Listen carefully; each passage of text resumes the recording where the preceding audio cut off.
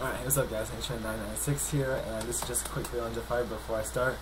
Wearing the Pitbull Singer shirt. I just found out that my medium shirt still fit me, which is a big shocker to me. So, uh, they're not going to be seeing purple or blue or red or... Well, I am going to be getting the red one as soon as I get 25 bucks, but anyway. This is just a quick video on Jeff Hardy.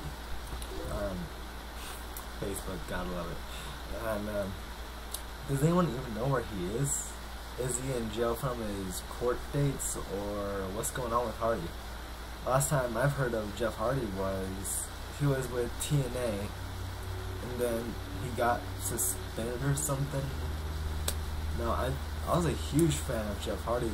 Uh, I remember going to No Way Out 2009 and seeing Jeff Hardy hit that huge swanton onto the Big Show.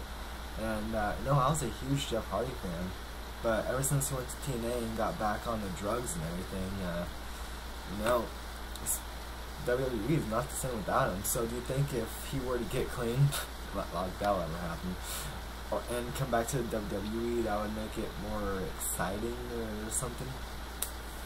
But uh, yeah, I just want to know: Is Jeff Hardy dead? Is he in jail? Is he smoking pot at his house or whatever? no, don't get me wrong. I, I'm a huge Hardy fan still, but just I haven't seen him in so long. Even when I surprisingly watch Impact every Impact every now and then, no, I don't see him on there anymore. So if anyone knows where he is or something, leave a comment in the description box. And um, yeah, so oh yeah, and I my WWE stuff from the, WWE shop unboxing video will be on Tuesday. So look out for that one.